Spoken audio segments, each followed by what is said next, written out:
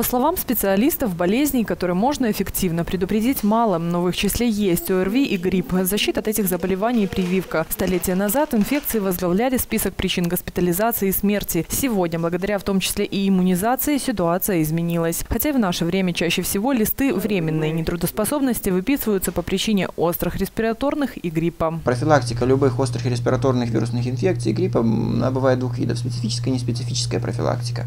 К специфической профилактике относится, то есть профилактика, которая воздействует на конкретного возбудителя той или иной вирусной инфекции, на конкретного возбудителя того или иного вида гриппа.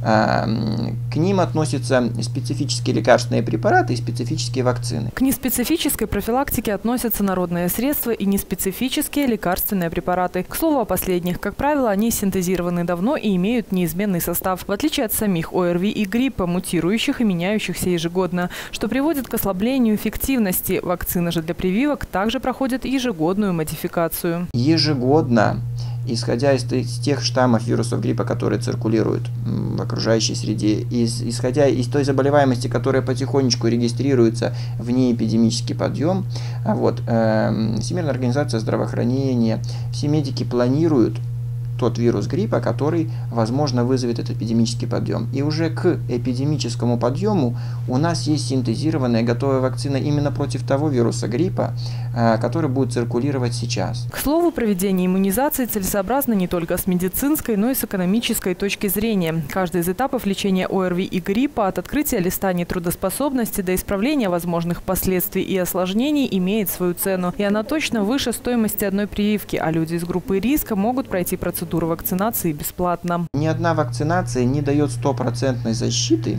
от вирусной инфекции, но любая вакцинация дает очень высокую защиту от возможных осложнений. А, эффективность любой вакцинации составляет 70-90%.